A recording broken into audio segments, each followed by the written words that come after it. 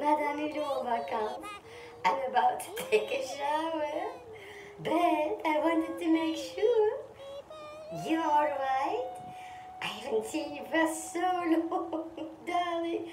How are you? And how are things?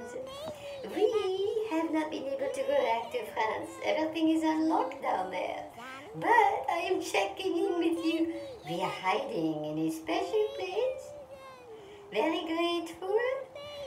Were so lucky and we are hiding until it is safer to come out. but wanted to think of you, Sherry. I'm now going to take my shower. You?